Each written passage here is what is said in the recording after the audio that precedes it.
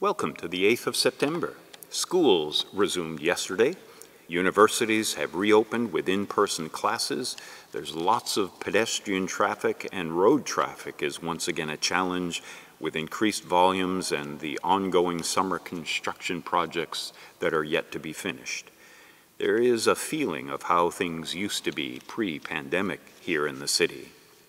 Next week will be a telling moment for us as we approach the 15th of September the day in which major COVID-related restrictions could be lifted if indeed we meet the targets of 75% of the population being fully vaccinated. Until then, we continue with our 10 a.m. Sunday in-person Eucharist, services on Wednesday mornings at 7.30 a.m. and Friday noon here in the Cathedral. Online, along with this weekly check-in, our offerings of morning prayer Monday through Friday can be found on Facebook, and our YouTube channel. Throughout the month of September, you can also join us for a walk through a labyrinth on Sunday afternoons, weather permitting. The labyrinth will be set out in Victoria Park, just across from the cathedral, from noon until 2 p.m. Untangle your mind, find your center, refresh your soul. This is a great family activity as well, so feel free to bring children. The online meditation group Thursday evenings at 6.30 p.m. is on a bit of a break and will resume in the coming weeks, so stay tuned for updates on that and all our services and activities. Today in history, September the 8th, is the day when Michelangelo unveiled his statue of David to the public back in 1504. Carved from a single block of Italian marble, that apparently had been rejected by other artists who work with stone because they thought the stone to be flawed, Michelangelo felt the flaw added to the authenticity of the character. His depiction of the biblical figure David shows not a young, timid shepherd boy, but a tall, muscular figure with slingshot and stone in hand, standing 17 feet tall weighing in at approximately 12,000 pounds or six tons, and it took him nearly two years to carve. The statue was commissioned for the cathedral in Florence when Michelangelo was 26 years old. It is considered one of the finest examples of Renaissance art. Speaking of biblical connections, today, September the 8th, is also recognized in Christianity as the birthday of Mary, the mother of Jesus, officially the Nativity of the Blessed Virgin Mary. While her birth is not part of the biblical narratives of any of the gospel writers, an apocryphal text from the late second century called the Proto-Evangelium of James does offer an account of her birth to Anne and Joachim, the writing describes Joachim as a wealthy man and a descendant of one of the historic 12 tribes of Israel. He and his wife Anne had been childless to this point. In Stephen Reynolds' book, For All the Saints, he cites the second century legend which reads, Once upon a time there was a Jewish couple named Joachim and Anne. They were elderly, and their neighbors reproached them for not having any children. But God heard Anne's lament and sent an angel to tell her, You shall conceive and bear, and your offspring shall be spoken of all over the world. Anne responded, As the Lord my God lives, if I bear a child, whether male or female, I will bring it as a gift to the Lord my God, and it will serve him all the days of its life. And so it came to pass, Anne conceived and when the time was fulfilled, she gave birth to a daughter and named her Mary. Both parents vowed to dedicate their child to the service of God, and so when she was three years old, they presented her in the temple at Jerusalem. And again from Reynolds' book, quote, And the high priest placed Mary on the third step of the altar, and the Lord put grace upon the child, and she danced for joy with her feet and the whole house of Israel loved her, unquote. Tradition holds the birthplace of the Virgin Mary as Sepphoris, approximately six kilometers northwest of Nazareth. The earliest document commemorating this date as a feast day comes from a hymn written in the 6th century.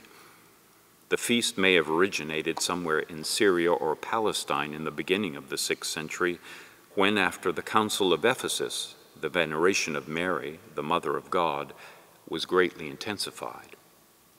The first liturgical commemoration is connected with the 6th century dedication of a church of St. Anne in Jerusalem. Now, countless hymns have been written to the honor of Mary, and I'm sure you're familiar with the great hymn Ave Maria, sung by the likes of Pavarotti, Andrea Bocelli, even Celine Dion, or Josh Groban. But I was surprised to learn that the song is actually adapted from a narrative poem by Sir Walter Scott, the great Scottish novelist, poet, playwright, and historian. His poem, The Lady of the Lake, published in 1810, tells the story of three men vying for the love of one Ellen Douglas, set in Walter Scott's native Scotland. Well, a German translation of Scott's poem was set to music in 1825 by the great Austrian composer Franz Schubert. Consisting of three songs of Ellen, one of which begins with the opening words Ave Maria, the music has become more famous in a later adaptation that replaced the text of Walter Scott's poem with the Latin text of the Hail Mary prayer, based on the words of greeting from the angel Gabriel in the Gospel of Luke, when he announces to Mary that she is to bear a child. Hail, full of grace, the Lord is with thee. Blessed art thou amongst women, and blessed is the fruit of thy womb. So certainly Ave Maria could serve as our song for this commemoration. You can look up any number of stirring renditions available online based on Schubert's music. And the Magnificat, the song Mary herself sings in the story of her encounter with Gabriel, is one of the most ancient Christian hymns, and historian Marjorie Reeves states it is perhaps the earliest of all Christian hymns. But I'm going to suggest an interesting intersection of the sacred and secular and point you to a song written in 1970 which has as its opening lines When I find myself in times of trouble, Mother Mary comes to me, speaking words of wisdom, let it be. And in my hour of darkness, she is standing right in front of me, speaking words of wisdom, let it be. That song, Let It Be, was written by the Beatles band member Paul McCartney, released on May the 8th, 1970, on the album that bears its name. It was the 12th and final studio album produced by the Beatles before they broke up, and each went to follow their own personal careers.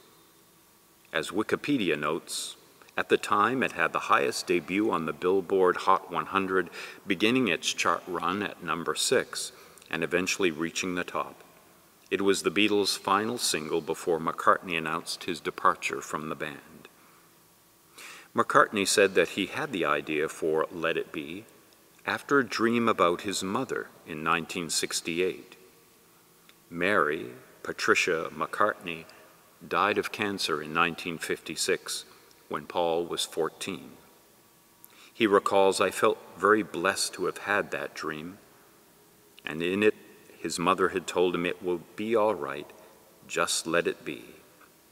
So that got him writing the lyric to the song. In a later interview, when asked if the phrase Mother Mary in the song referred to the mother of Jesus, McCartney replied that listeners can interpret the song however they like. Indeed, others have indeed interpreted the phrase biblically. In his review of the single, Derek Johnson of New Music Express admired Paul McCartney's performance and the lyrics, noting, quote, This is a record to stop you dead in your tracks and compel you to listen attentively. John Gabree of High Fidelity reviewed the song as possibly the best thing musically that McCartney has done. Rolling Stone ranked the track at 20 on its 500 greatest songs of all time. Now that's high praise for a band that is the best selling musical act of all time, that produced 21 studio albums, composed over 200 original songs with sales over 600 million, praised by Rolling Stone as the greatest musical artists in all of history, and whom Time magazine named among the 20th century's 100 most important people. So, for a slightly different take on celebrating Mary, the Beatles, Let It Be. And here is a poem that captures the tradition of the birth legend of Mary, written by the Austrian poet and novelist Rainer Maria Rilke. Born December 4, 1875, in Prague, the capital of Bohemia, now part of the Czech Republic, Rilke is widely recognized as one of the most lyrically intense German language poets in their history. While mostly known for his contribution to German literature, over 400 of his poems, though, were originally written in French, inspired by places he visited in his extensive travels throughout Europe. In this particular poem, he ponders what the experience must have been like for those angels tasked with setting forth from heaven on their mission to proclaim to Joachim and Anne the impending birth of a daughter. So here is the poem, Birth of Mary, by Rainer Maria Rilke. Oh, what must it have cost the angels not suddenly to burst into song as one bursts into tears, since indeed they knew on this night the mother is being born for the boy, the one who shall soon appear. Soaring, they held themselves silent and showed the direction where, alone, Joachim's farm lay. Ah, they felt in themselves and in space the pure precipitation, but none might go down to him. For the two were already quite beside themselves with ado. A neighbor woman came and played wise and did not know how, and the old man carefully went and withheld the mooing of a dark cow, for so it had never yet been. Birth of Mary, Rainer Maria Rilke. Let us pray. God of faithfulness and truth, who formed us in the image of your word, grant us so to bear your Son into the world that this earth may become the cradle where you nurture your new creation. We ask this through Jesus Christ our Lord. Amen. Keep in touch, stay safe, and keep the faith until we meet again.